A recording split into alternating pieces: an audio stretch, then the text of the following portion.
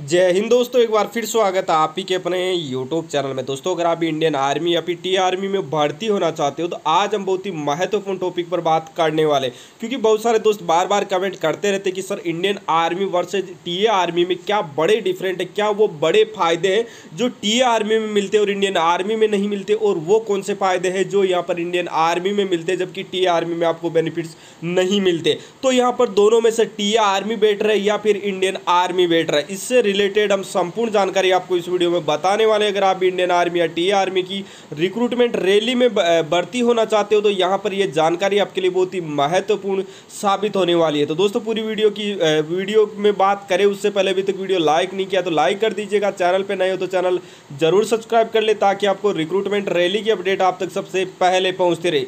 तो चलो दोस्तों, बात करते हैं सबसे पहले। दोस्तों टीए आर्मी की रिक्रूटमेंट रैली भी इंडियन आर्मी की तरह ही रिक्रूटमेंट रैली आयोजित की जाती है। अब बहुत सारे दोस्त बार बार कमेंट करते रहते हैं कि, सर टी आर्मी है वो अस्थायी आर्मी है दोस्तों, ऐसा नहीं है।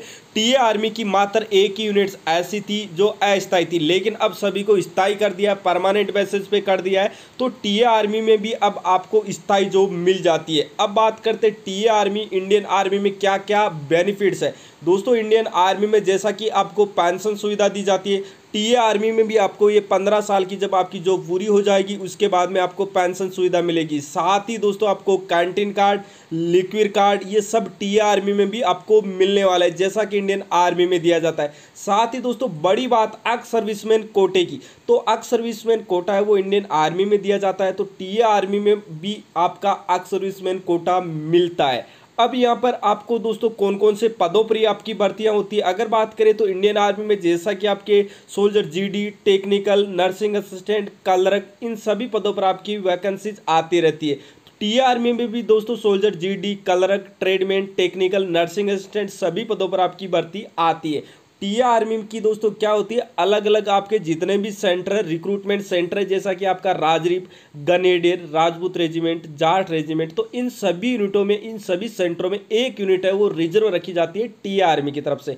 टी आर्मी की जो यूनिट होती है दोस्तों, वो बहुत ही अच्छी जॉब होती है टी आर्मी की, क्योंकि इंडियन आर्मी में अगर आप जॉब करोगे तो बहुत ही हार्ड वर्क आपको करना होगा। दोस्तों ट्रेनिंग भी दोनों की सेम है। नौ मंथ नाइन मंथ की ट्रेनिंग आपके आर्मी की होती है और टीए की भी आपके इतनी ट्रेनिंग से होने वाली है और उन्हीं सेंटरों में आपकी ट्रेनिंग होने वाली है। दोस्तों, अगर आप सोल्जर जीडी में भर्ती हो जाते हो टीए में तो उसके बाद में आपके लिए इतना बेनिफिट है टी आर्मी में इंडियन आर्मी से बेटर आप इंडियन टी आर्मी को मान सकते हो। क्योंकि दोस्तों, यहाँ पर आपको कहीं बाहर नहीं जाना होगा। अपने सेंटर की ड्यूटी करनी होगी। साथ में आपको ड्रेस है, आपका सारा जो वेशभूषा है, वो इंडियन आर्मी की तरह ही रहेगी। बेनिफिट सारे आपके वही रहेंगे। आपको यहाँ पर दोस्तों बॉर्डर पर जाने की ज़रूरत नहीं होगी और आपकी ड्यूटी होगी वो निश्चित होगी।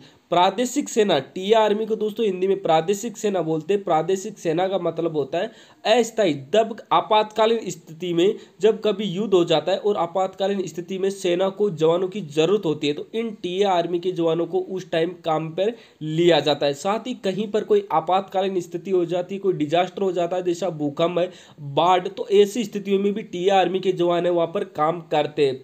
साथ ही दोस्तों अब बात आती है, क्या टी आर्मी की जॉब होती है, वो स्थायी होती है, एक ही जगह आपको करनी होगी? नहीं दोस्तों, ऑल इंडिया बेसिस पर इंडियन आर्मी की यूनिट से जैसे एक जगह से दूसरी जगह पर मूवमेंट करती रहती है, वैसे ही आपकी टीए आर्मी की जो यूनिटें होगी, वो भी एक जगह से दूसरी जगह पर हर तीन साल बाद में मूवमेंट करती रहती है।